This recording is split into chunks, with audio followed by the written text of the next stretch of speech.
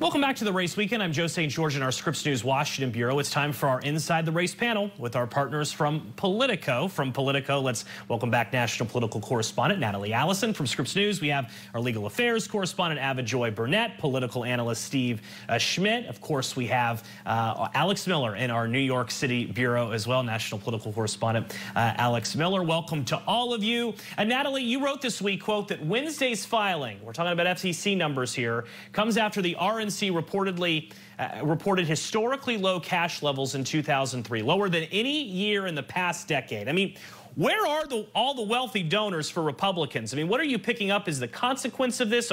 Is, is staff not being paid or hired?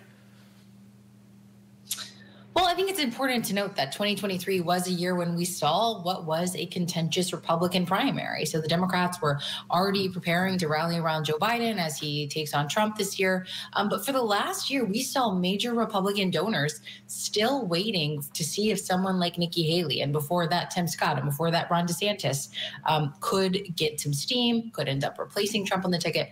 Ultimately, that did not happen. That never came close to happening.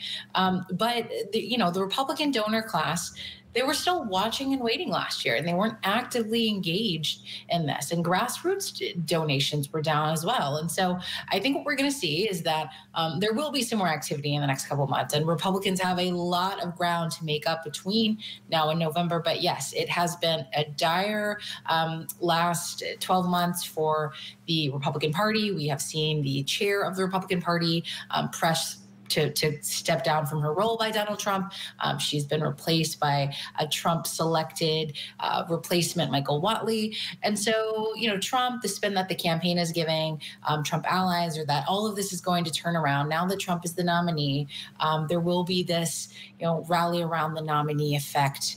Um, but there is a lot of ground Republicans are going to have to make up um, with the cash disparity. We spent a lot of time on this show talking about former President Trump's money. Let's talk about President Biden's money. Uh, Alex Miller, you're in New York City, and, and there's going to be a very interesting fundraiser there this week. President Obama, former President Clinton, New York City What's something like this raising? This is a joint fundraiser. Not every day we see three presidents appear together. It's not. It would be a big fundraiser for anybody, much less somebody like President Biden, who prefers retail politics, more small crowds, one-on-one -on -one conversations. According to NBC, this could have some 3,000 people raising about $10 million. Not everybody has to be a big donor to go to this event. There's a variety of ways to get access to it. One of them being a contest. I have uh, I'm on the text messages that the campaign sends out out. They have been nonstop sending out these fundraiser uh, text messages for a contest to get into this event.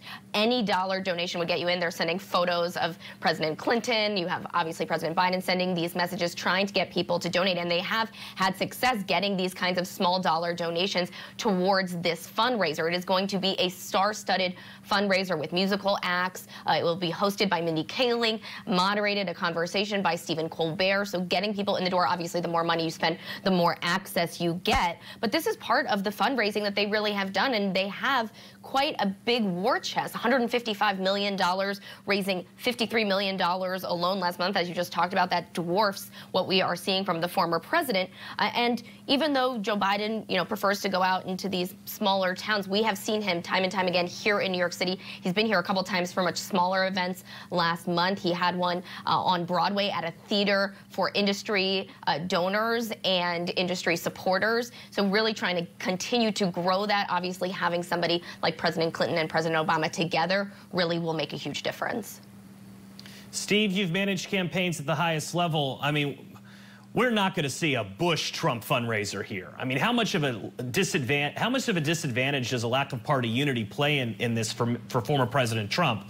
Uh, or maybe is a little Trump fatigue coming in here? I mean, he's been the leader of the Republican Party for nearly a decade now.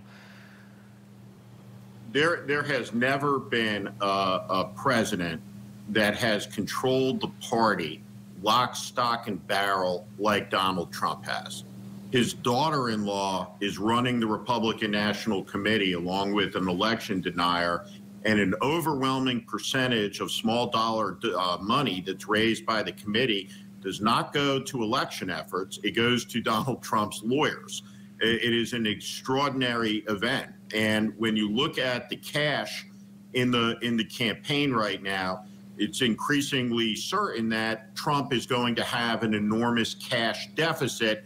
But in the end, I'm not sure that that matters because of the ubiquity of the coverage and his ability to dominate the culture as he has for the last nine years. With regard to George Bush and the gathering of presidents, no, President Bush will not support Donald Trump. The question is, though, will the man who gave an inaugural address talking about America's role in spreading democracy around the world on January 20th, 2005, put those words into action and support President Biden in an election where American democracy is being tested by comments calling for violence, for retribution, for revenge, and lawlessness. And President Bush could play an outsized role later in this campaign should he decide historically to campaign against a Republican nominee who has who has obliterated the principles of the Republican Party that George Herbert Walker Bush, that Ronald Reagan, and George W. Bush were once part of.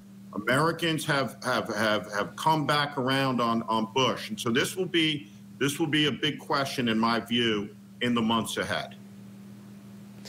Keep an eye on Bush. Uh, really interesting perspective there. All right, Ava Joy, you're a legal affairs correspondent.